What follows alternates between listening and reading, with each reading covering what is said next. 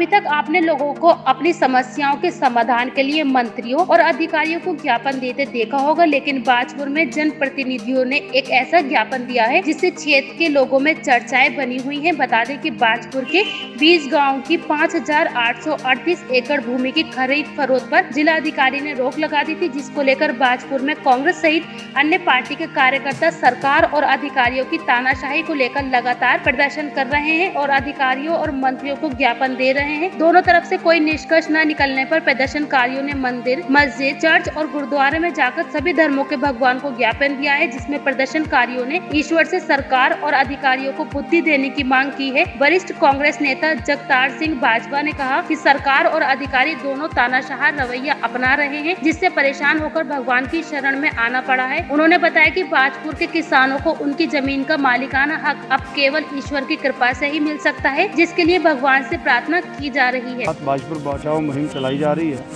उसका आज पचासवा दिन है। लेकिन सरकार की तरफ़ से अभी तक कोई सकारात्मक संदेश, सकारात्मक ऐसी कोई सूचना नहीं है कि सरकार इस विषय पर गंभीर हो।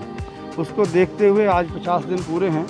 तो सभी सहयोगियों के मार्गदर्शन में यहाँ पर आज देव द्वार यात्रा कार्य शुरू है कि जिससे कि हम पूरे मंदिर में, गुरुद्वारे में, मस्जिद में और गिरजाघर में ये एक एप्लीकेशन देने जा रहे हैं, प्रार्थना पत्र देने जा रहे हैं कि सरकार को सद्बुद्धि मिले, यहाँ के जनप्रतिनिधियों को सद्बुद्धि मिले और यहाँ के जो हज़ारों परिवारों का भविष्य है वो सुरक्षित हो सके।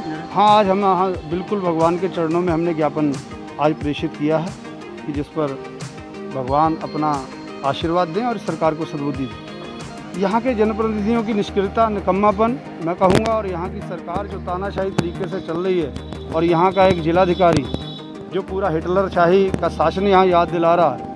और किसी में भी इतनी हिम्मत नहीं है यहाँ के जनप्रतिनिधि में। मैं चैलेंज करता हूँ, यहाँ का जो मौजूदा मंत्री भी हैं, वो फ़ोन पर डीएम को कोई कह नहीं सकते। ये हालात हैं सरकार की, निरंकुश सरकार है, तानाशाह सरकार है। उसके खिलाफ भगवान की शरण में हैं और भगवान इस सरकार को सदबुद्धि दें।